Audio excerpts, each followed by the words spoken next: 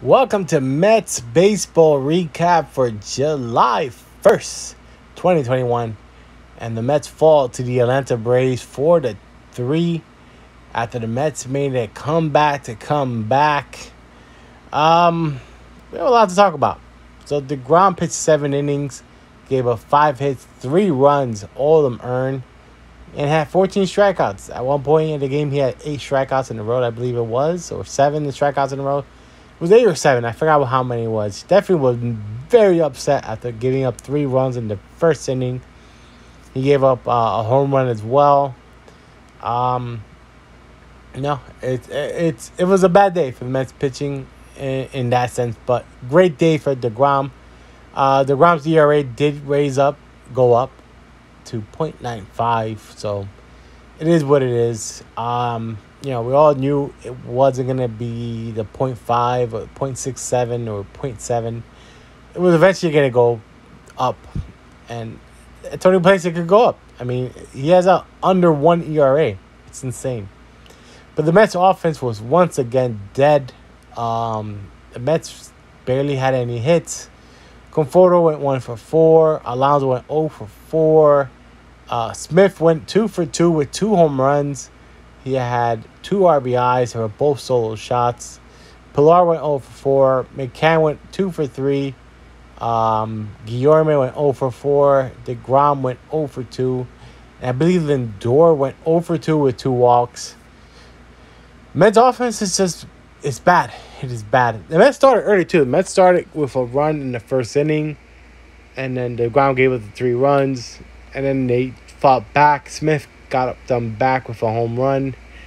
And then tied the game in the ninth, 3 3. And then unfortunately, Seth Lugo could not hold the game for the Mets. The Mets lose this game.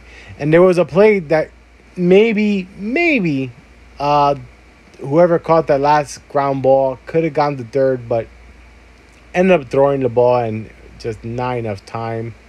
Uh, Freddie Freeman beat the play out at first, but the bases loaded, and the Braves won. The Mets, though, were, were helped by the Dodgers. The Dodgers beat the Washington Nationals, the red hot Washington Nationals.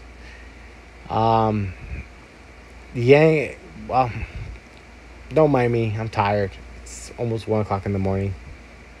Um, the Yankees will take on the Mets tomorrow. Yankees, psh, it's terrible. This is this is a terrible recap. Um, I have no words. The Mets offense has been dead, and it's continued to be dead. Um, some days some players hit, some days the other players don't hit. I don't know. I don't. I don't have a good answer.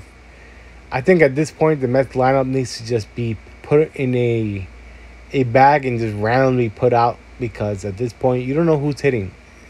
No one's hot. No one's cold.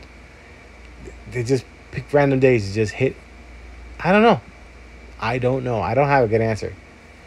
As far as the Mets in the ninth inning, no. Things happen. And unfortunately, Seth Lugo just didn't have it. And like I said, they probably could have got out of it. A ground ball hit third base. They had a shift. The guy could have gotten third, maybe. You know, just it's a it was a tough play. Know, and I, I I can't fault whoever caught that that ground ball.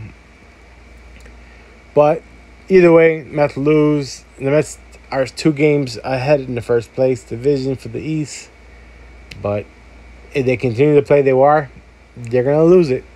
And I've been saying it for a very long time, but I'm not gonna say it today. But it is what it is.